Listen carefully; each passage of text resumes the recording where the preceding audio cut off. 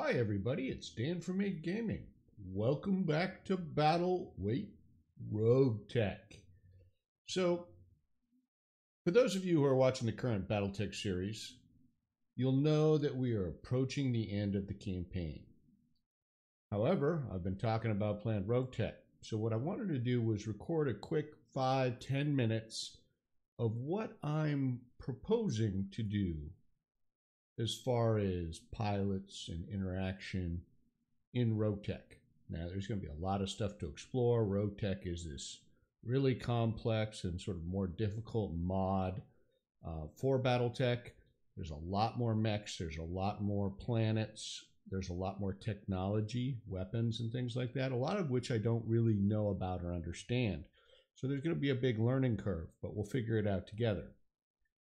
Now, one of the things that I'm going to just sort of walk you through my plan here, and I'll be happy to consider feedback in the comments and try and use that or you know at least evaluate that and determine whether I want to use that for when we actually start. So we're going to play career mode number 1.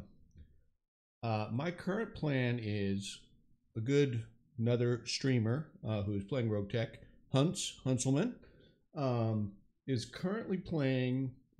Well, he started in Davion. That doesn't necessarily mean that your background was Davion. I forget what his background was. My plan is to start just to the north of that, which is Kurita space.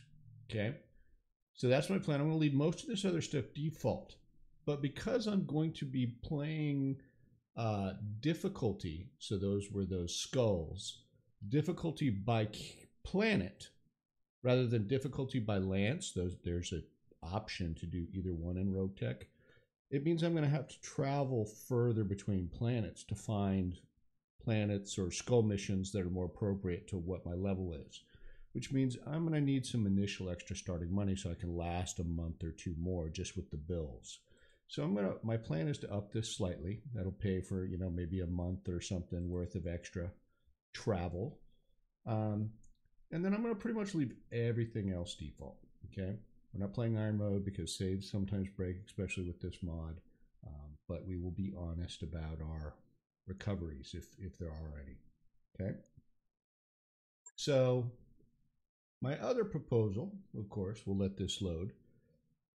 I am going to not start with any Ronin or um, Kickstarter pilots. So they're all going to be renamable. And as we have people who are commenting, who are really participating in watching this campaign, um, I will be naming pilots after them. So, with that said,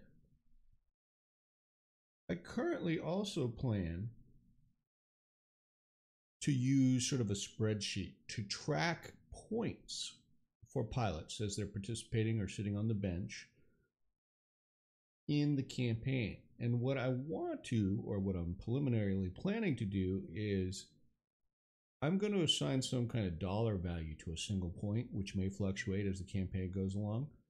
And that's going to give you, if you represent one of these pilots, the opportunity to see maybe a nice weapon that we got from salvage or something like that and say, hey, the mech that I'm piloting, that I'm assigned to, I'd really like to upgrade or retrofit it in a particular fashion and use some of my points, or maybe even upgrade to a new mech we got.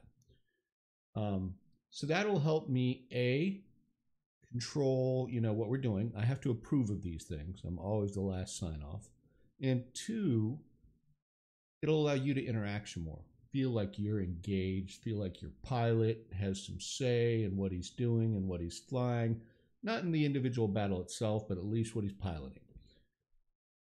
So I may fluctuate the point values, I may fluctuate the cash, but that's sort of the idea of the proposal. So let me know what you think about that.